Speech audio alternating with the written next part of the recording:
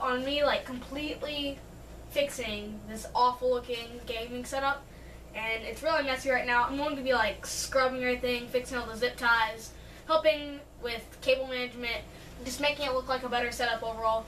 So let's get started.